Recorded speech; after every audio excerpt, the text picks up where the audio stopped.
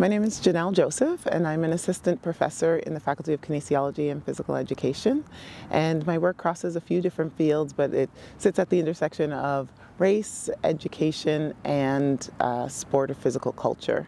So I'm really interested in the body and learning and um, multiculturalism and the ways that we um, interact across cultures and learn from each other, but um, also, you know, resistance practices and activism within those spaces as well.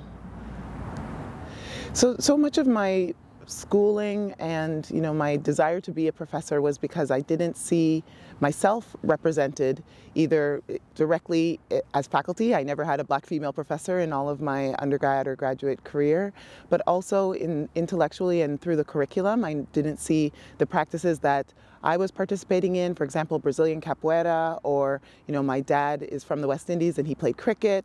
And, you know, these kinds of physical cultures were never taught. We never really discussed them within the kinesiology field. And even more than that, I felt that, you know, we're asked to sit and read and type and listen. And uh, I always felt out of place doing that. I always felt like this is not learning or this is not serving me. And but it's such a radical idea to to to stand up in a classroom even or to you know ask your professor to to move. And so uh, I realized that I had to do those things myself. Uh, started as an assistant professor in 2019, and my first assignment was a fourth year mandatory class uh, on ethics and kinesiology. And I was so excited by the prospect because you know ethics is so broad and I was really excited to bring in some of my critical race theory and um, you know push students in maybe different ways than they had with previous professors. And um, I arrived at the classroom and it was a 250 seat theater and I was up on a stage and there was a white a big screen for a PowerPoint.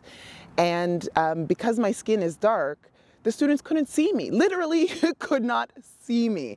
And so, you know, just all of the politics of that, like that, you know, I was, I would have loved to be in a gym. Like, can we think about ethics by doing some push-ups and extending the concept with our bodies? Uh, and, you know, we were just so restricted to, to the extreme that, you know, the students were forced to sit in this lecture theater, shoulder to shoulder, and they literally could not see my face.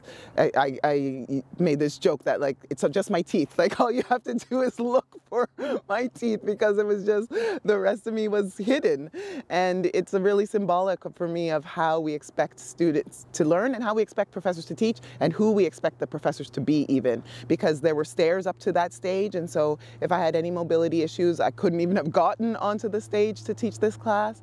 So yeah, absolutely that, and, and it wasn't it wasn't serving me, and I don't think that it was serving the majority of the students either.